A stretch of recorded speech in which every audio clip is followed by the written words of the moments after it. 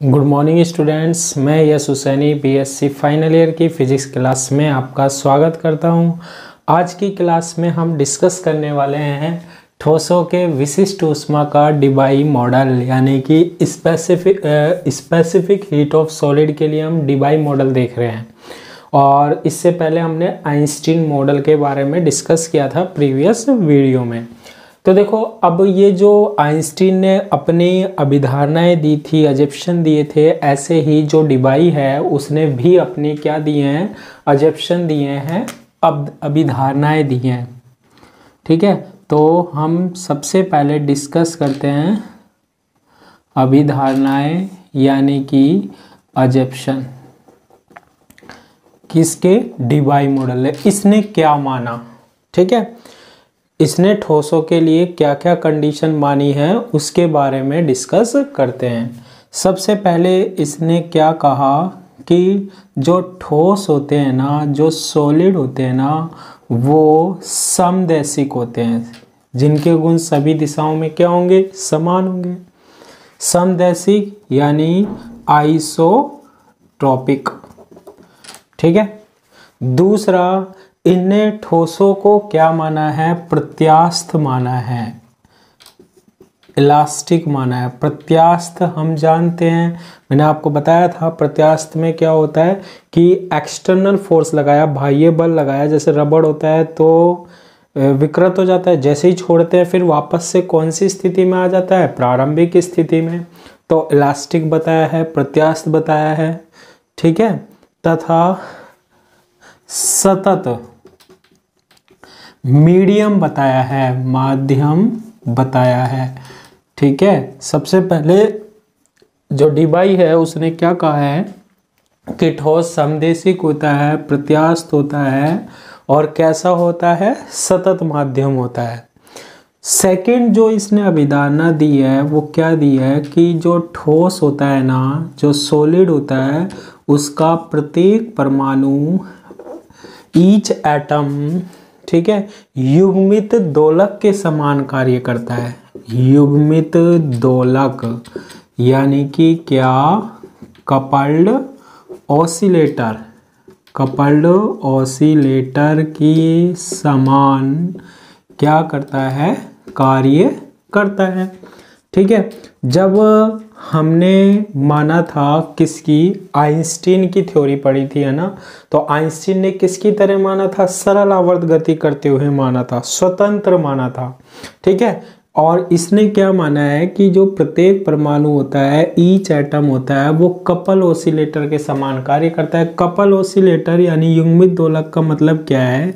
जैसे ये ठोस होता है और ये ठोस में एटम होते हैं, परमाणु होते हैं, निश्चित दूरी पर होते हैं और इनके बीच की जो डिस्टेंस होती है, वो निश्चित होती है फिक्स होती है। इनके बीच में हमारे पास स्प्रिंग जैसा फोर्स होता है, बल होता है, ठीक है? तो अब देखो, जैसे ही इनमें कंपन होते हैं ना तो जैसे ये एटम है तो इस पर इसका भी इफ़ेक्ट पड़ेगा और इस पर इसका भी इफ़ेक्ट पड़ेगा। जैसे सरल लोलक की बात करते थे हम, ठीक है? सिंपल पेंडुलम की बात कर रहे थे तो ये जब हमारे पास हम इसको ऐसे खींच कर छोड़ते थे तो ये ऐसे क्या करता था? दोलन करता था वाइब्रेशन होते थे इसमें ऐसे, है ना? लेकिन जब हम कपल की बात करते हैं तो जैसे दो होते हैं, और इनके बीच में हमने क्या लगा दी? स्प्रिंग लगा दी, युग्मित।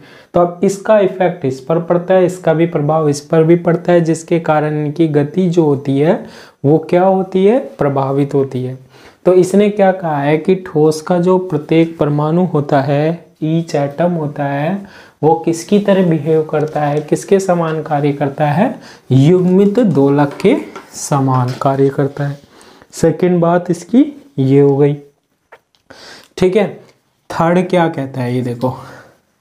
थर्ड ये कहता है कि एन परमाणु वाले ठोस में कोई सॉलिड है, कोई ठोस है एन जिसके में कितने एटम हैं एन है। कितने परमाणु हैं? एन है। एन परमाणु वाले ठोस में एन परमाणु वाले ठोस में कुल थ्री एन प्रसामान्य विधाएँ होती हैं। ठीक है? विधाएँ होती हैं।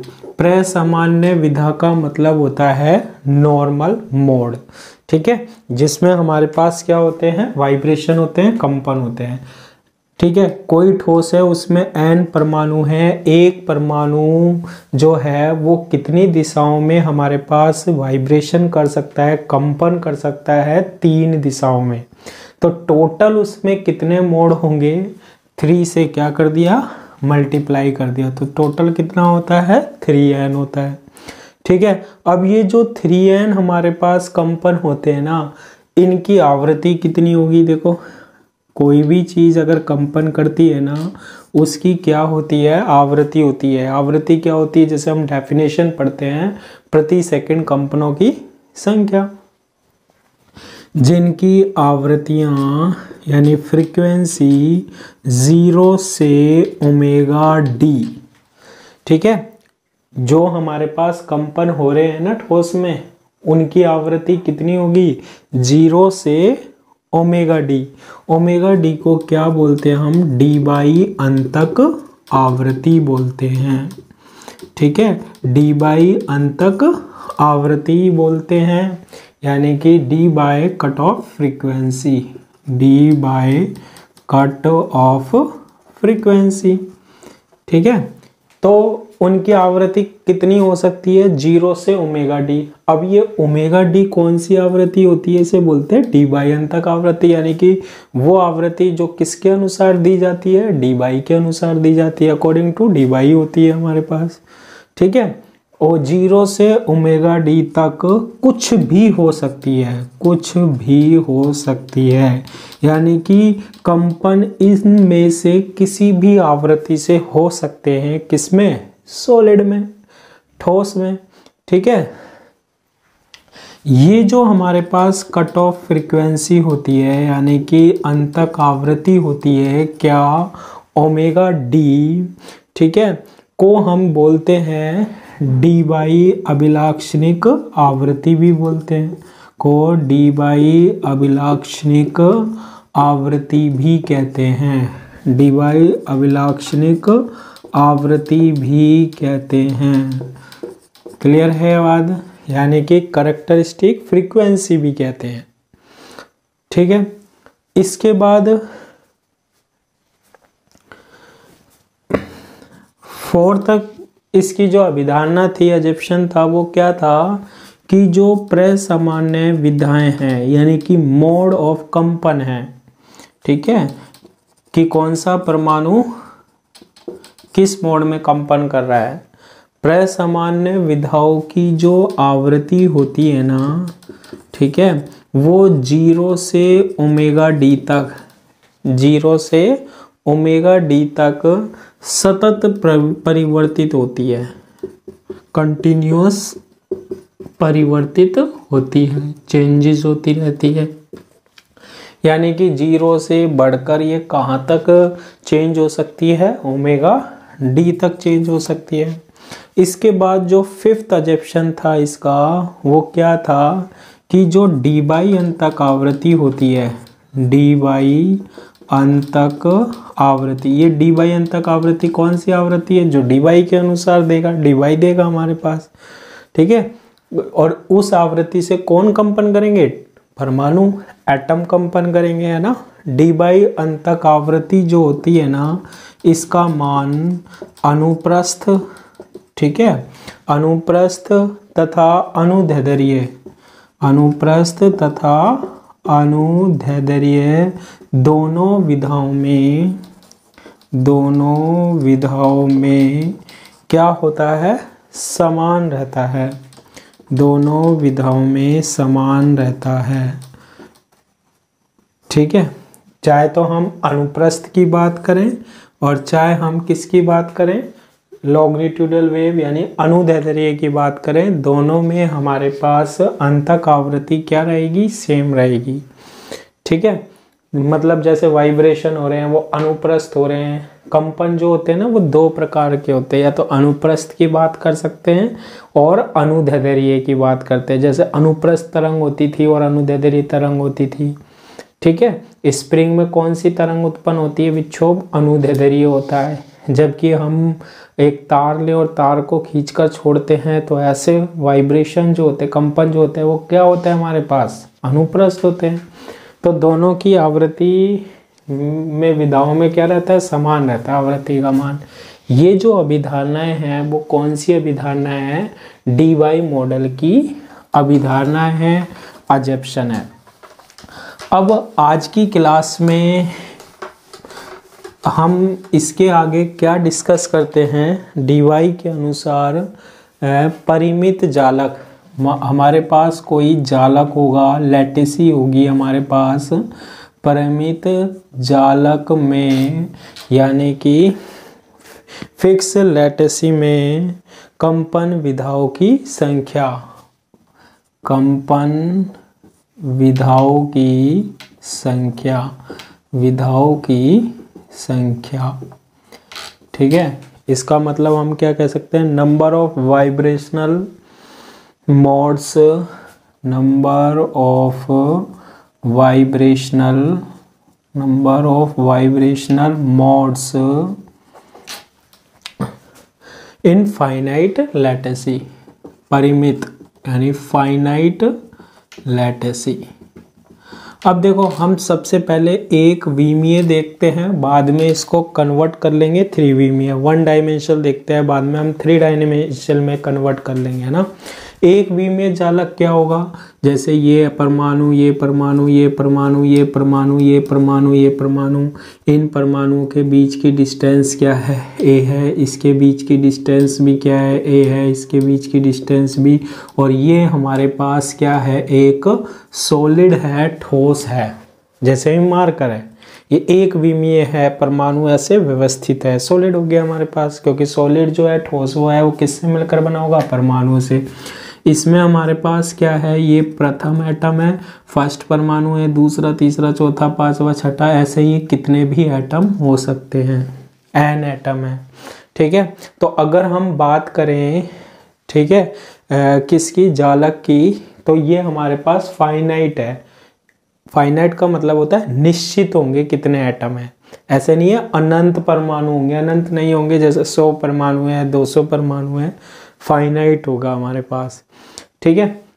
इसकी जो लंबाई है ना सपोज़ कीजिए मैंने कितनी मान ली? एल मान ली। लेंथ जो है वो कितनी मान ली? एल मान ली। तो अब डेरिवेशन स्टार्ट करते हैं। देखो, माना एक सतत। सतत का मतलब होता है कंटिन्यूस है ना? एक सतत माध्यम है माध्यम है जिसकी लंबाई, जिसकी लंबाई कितनी है हमारे पास? एल है। यानी कि हमारे पास बहुत सारे परमाणु, जैसे रस्सी होती है, बहुत सारे परमाणु ऐसे क्या होंगे? जुड़े हुए होंगे हमारे पास। ठीक है? और जिसकी लंबाई कितनी है टोटल हमारे पास? एल है। ठीक है? अब इन, जिनके परमाणु, ये परमाणु हैं सारे के सारे, जिनके परमाणुओं एटम ठीक है? एटम से मिलकर बनी है। जिनके परमाणुओं के मध्य मध्य भी जो इंट्रैक्शन है अन्योन क्रिया है। ठीक है? परमाणुओं के मध्य भी अन्योन क्रिया प्रत्यास्थ बलों की भांति होती है इलास्टिक फोर्स की भांति होती है। प्रत्यास्थ बलों की भांति होती है। मतलब कैसे? इसको कैसे समझाओ जैसे रबड़ होता है ना? जैसे क्या होता है? रबड़ होता है। अब रबड़ किससे मिलकर बना होता है? एटम से मिलकर होता है, परमाणु से मिलकर बना होता है, बहुत सारे परमाणु जुड़े होते हैं। अब उसको हम क्या कर दें? खींच दें। तो परमाणु के बीच की दूरी क्या हो जाएगी? बढ़ जाएगी। जैसे हम छोड़ दें तो वापस कौन सी स्थिति में आ जाएगी? प्रारंभिक स्थिति में आ जाएगी। तो परमाणु परमाणु के बीच की डिस्टेंस बढ़ती है और फिर वापस वही स्थिति में आ जाती है। तो कौन सा फोर्स लग रहा है? प्रत्यास्थ बल लग रहा है इलास्टिक फोर्स लग रहा है उस पर तो इनके बीच में इंट्रैक्शन जो होता है, वो कौन सा होता है? प्रत्यास्थ बलों का होता है इलास्टिक फोर्स का होता है। ये भी बात मान ली। ठीक है? तथा परमाणुओं के कंपन जो होंगे, एक परमाणु की बात कर रहा हूँ। तथा परमाणुओं के कंपन, यानी कि वाइब्रेशन के कंपन, सरल आवर्त गति के समान होते हैं। सरल आवर्त गति के समान होते हैं। यानी कि एक जो एटम है, एक परमाणु है, वो क्या करेगा? सिंपल हार्मोनिक ऑसिलेशन करेगा। सरल आवर्त गति करता है। प्रत्येक परमाणु सरल आवर्त गति करता है। हाँ बाद में ये जुड़ रहे हैं तो एक दूसरे पर इफ़ेक्ट डालेंगे, लेकिन एक एटम की बात करते हैं, एक परमाणु की बात करते हैं तो क्या करता है? ये सरल आवर्त गति करता है। ठीक है, ये तो हो गई किसकी बात? हमारे पास ये जाल की बात, परिमित जाल की बात हो गई, है ना? अब हम क्या करते हैं? इसमें कंपन उत्पन्न करते हैं। देखो, कंपन कैसे उत्पन्न करते हैं? जब कोई प्रगामी तरंग, ठीक है? प्रगामी तरंग। जब कोई प्रगामी तरंग प्रगामी तरंग कौन सी तरंग होती है? जिसके द्वारा ऊर्जा का संचरण होता है, ठीक है? जैसे ये तरंग ऐसे हमारे पास बढ़ती जा रही है, ये कौन सी तरंग होती है? प्रगामी तरंग होती है, जिसके द्वारा ऊर्जा का प्रोग्रेसिव वेव होती है ना? इस तरंग को हम इसमें क्या करते हैं? आरोपित कराते हैं। मतलब ठोस है और एक प्रगामी तरंग विक्षोभ दे रहे हैं हम उसे।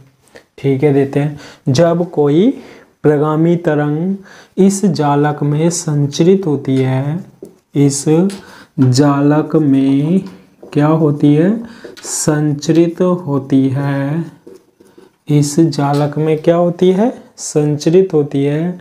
तो जालक के अंत में स्थित तो जालक के अंत में स्थित जो एटम होता है ना, जो परमाणु होता है, जालक के अंत में स्थित परमाणु से परावर्तित होकर परावर्तित होकर अप्रगामी तरंग, यानी कि क्या?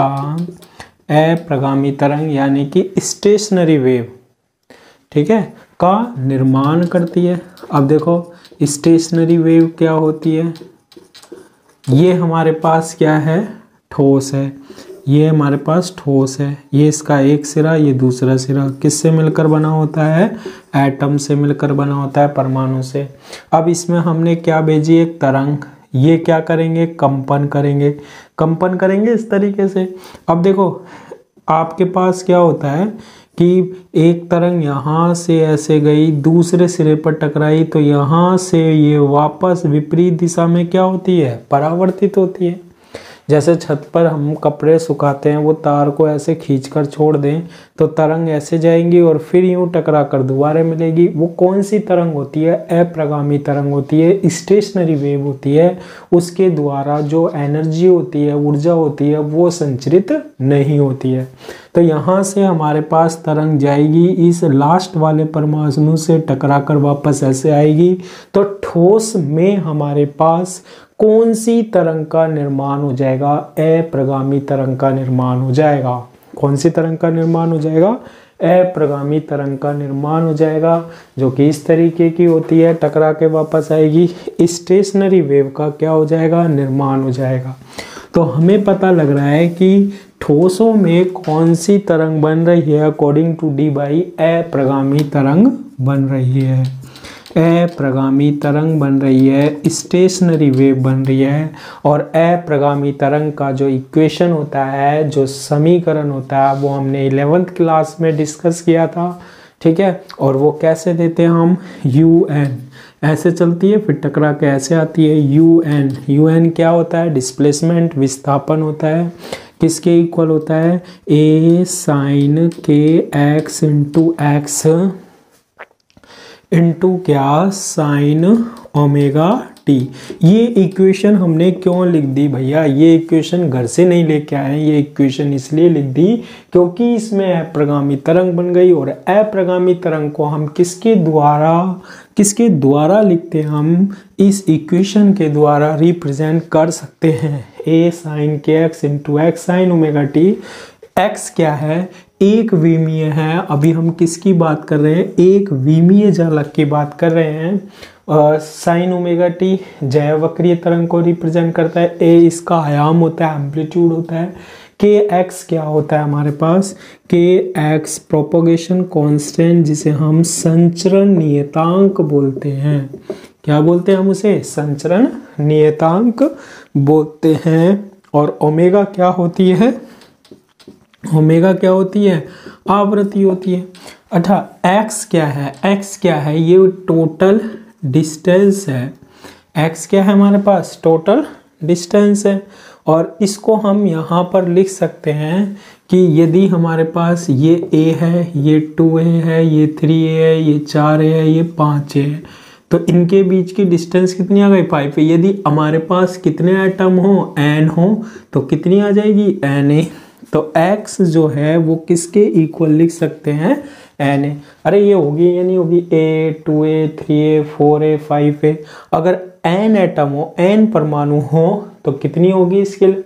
ये X is equal to N A होगी। ये जो लंबाई है एक्स इज़ इक्वल टू क्या होगी? एन ए होगी। इसके बाद जो जालक होता है, लेटेसी होता है, कि दोनों सिरों की बात करें। दोनों सिरों की बात करते हैं, दोनों पॉइंटों की बात करते हैं सिरों वाले की। तो इस कंडीशन में u zero is equal to U N is equal to क्या होता है? ज़ीरो होता है।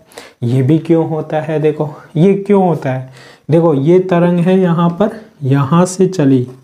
और ये ऐसे विक्षोभ चल रहा है, यहाँ गया, फिर ये टकरा कर यहाँ आया। ठीक है? तो यहाँ पर विस्थापन इस पॉइंट पर और इस पॉइंट पर क्या होता है? ज़ीरो होता है। ये फ़र्स्ट है टर्म परमाणु है और ये लास्ट है। तो यहाँ से चलेगा, यहाँ ज़ीरो और यहाँ से चलेंगे, यहाँ विस्थापन इनिशियली में और फाइनल में। प्रारंभ में और अंत में विस्थापन क्या होता है? ज़ीरो होता है, यानी ज़ीरो वाले परमाणु पर और एनवे परमाणु पर। ये वाले पर और ये वाले पर विस्थापन क्या लिख सकते हैं? डिस्प्लेसमेंट कितना लिख सकते हैं? कोई तरंग नहीं होती है, यहाँ तरंग नहीं बनती है। यानी कि इसको हमने क्या लिख दिया? ज़ीरो लिख दिया। ठीक है एल क्या है? इसकी लंबाई भी बोल सकते हैं हम, है ना? अगर ये ज़ीरो आ जाता है हमारे पास तो हम क्या लिख सकते हैं? देखो साइन ओमेगा टी से तो मतलब है नहीं।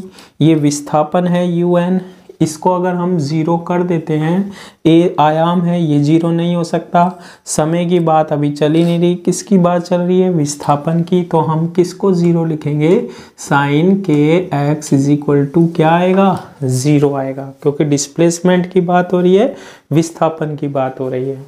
अब इस साइन के एक्स की जगह, ये आ गया हमारे पास साइन के एक्स की जगह। हम अभी के एक्स लिख देते हैं और ए और हमारे पास एक्स की जगह हम क्या लिख सकते हैं? N A is equal to zero इस तरीके से हम वैल्यू को क्या कर सकते हैं? पुट कर सकते हैं। ठीक है? ये किसमें पढ़ते हैं? डी वाई मॉडल पे ना।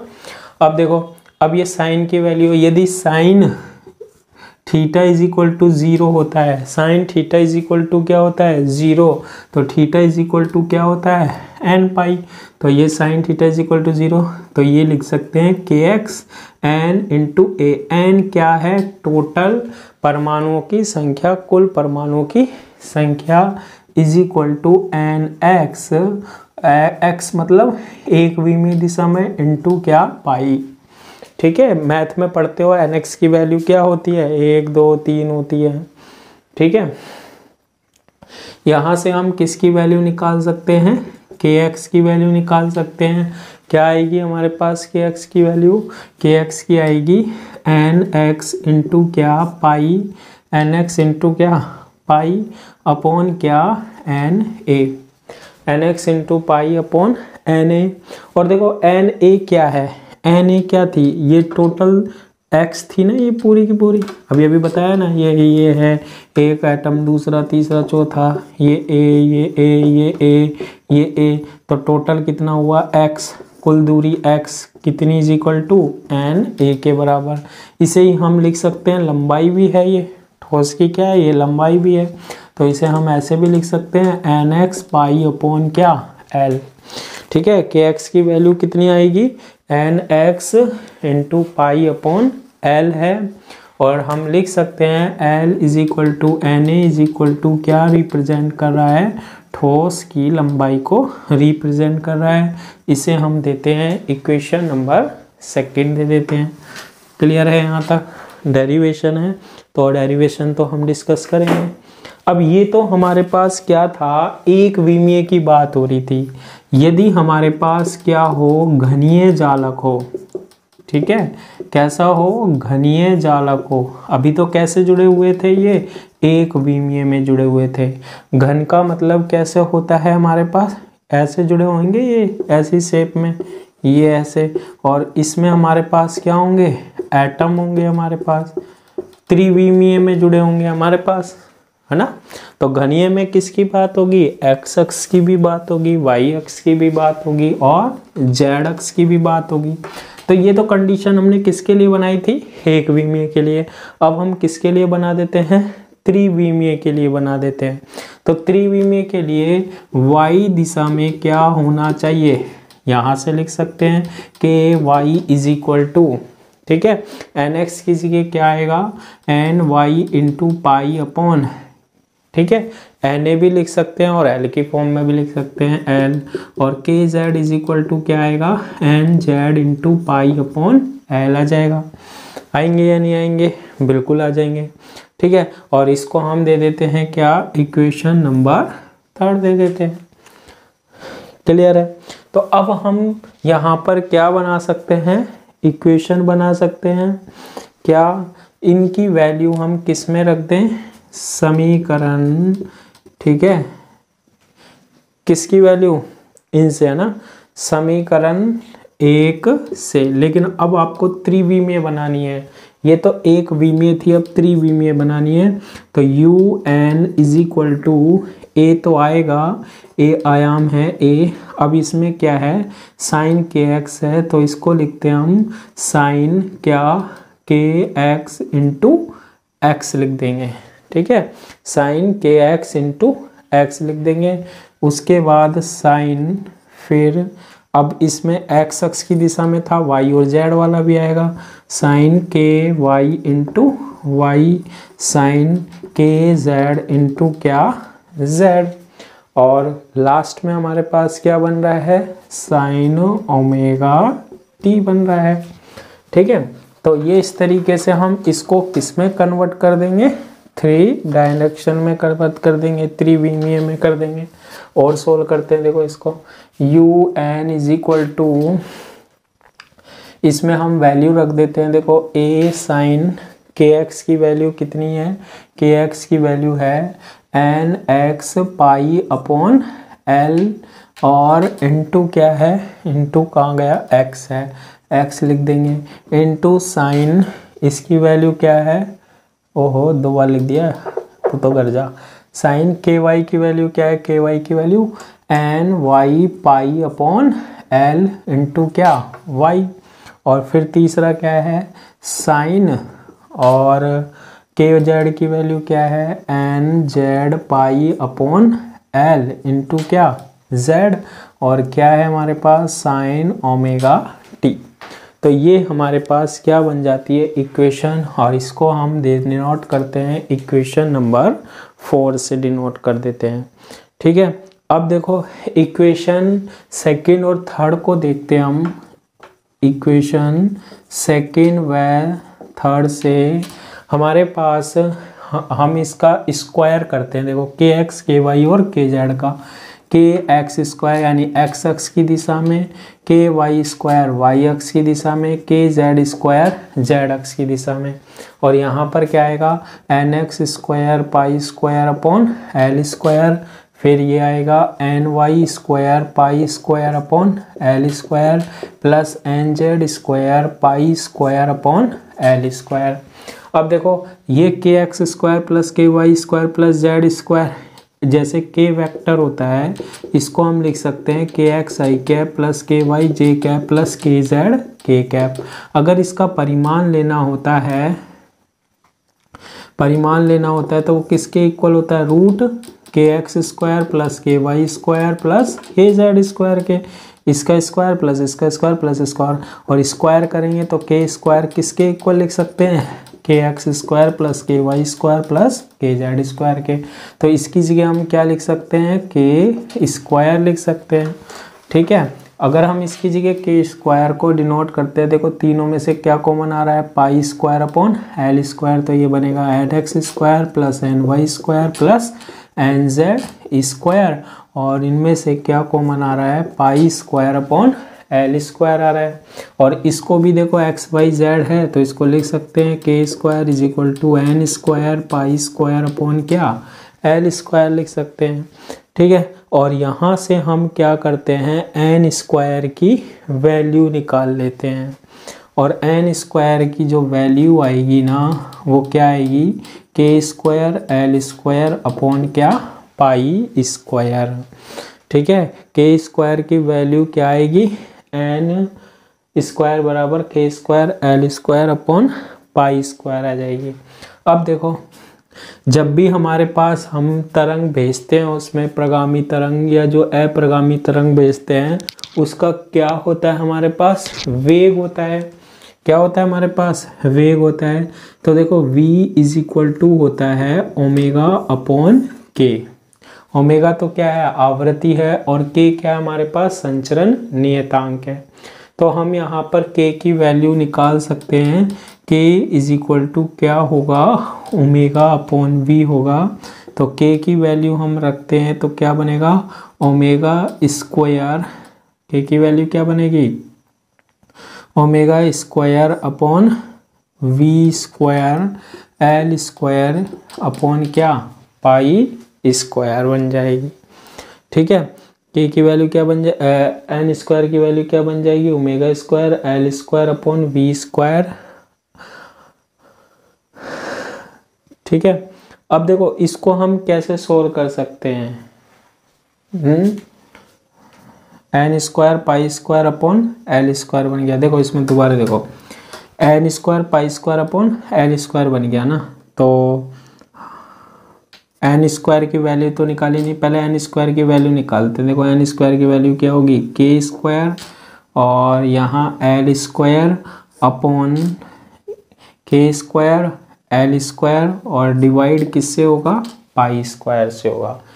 N square is equal to k square l square और डिवाइड किससे होगा? पाई स्क्वायर से होगा। ठीक है? अब के इज़ इक्वल टू हम क्या लिख सकते हैं? ओमेगा अपॉन वी लिख सकते हैं। के इज़ इक्वल टू क्या लिख सकते हैं? ओमेगा अपॉन वी लिखो, देखो। तो omega square upon v square k की वैल्यू क्या लिखोगे? Omega upon v omega square upon v square ठीक है? नीचे क्या है? पाई स्क्वायर है। ठीक है भैया पाई स्क्वायर और ऊपर क्या है? एल स्क्वायर है। ऊपर क्या है हमारे पास? एल स्क्वायर है। बन गया इसके बाद। अब देखो, इससे हम क्या करते हैं? एन की वैल्यू निकाल सकते हैं। तो एन की जो वैल्यू आएगी ना एन की क्या आएगी? वैल्यू वो क्या आएगी? के एल अपोन क्या? Pi is equal to omega l upon omega l upon pi v आएगी और इसे दे देते हैं हम इक्वेशन नंबर फाइव दे देते हैं। कितनी दे दी इसे? इक्वेशन नंबर फाइव दे दी। ये क्या है हमारे पास? कंपन विधा है, मोड है। वाइब्रेशन मोड को डिनोट करेगा। एन के कितने घटक होते हैं? तीन। N x n y n z ठीक है? एन एक्स एन वाई और एन जेड जब आवृत्ति कितनी है? ओमेगा है तो इतने कंपन विदा होते हैं, मोड होते हैं। ठीक है? तो देखो, वीडियो ज़्यादा लंबी हो जाएगी तो हम इसके आगे का डेरिवेशन जो है, वो नेक्स्ट क्लास में देखेंगे। यहाँ हमने किसकी वैल्यू निकाल ली है? कंपन विधा, यानी कि वाइब्रेशन मोड की। जब आवृत्ति या फ्रीक्वेंसी कितनी है हमारे पास? ओमेगा है। तो नेक्स्ट क्लास में हम इससे आगे कंटिन्यू करेंगे। आज की क्लास के लिए इतना ही। Thank you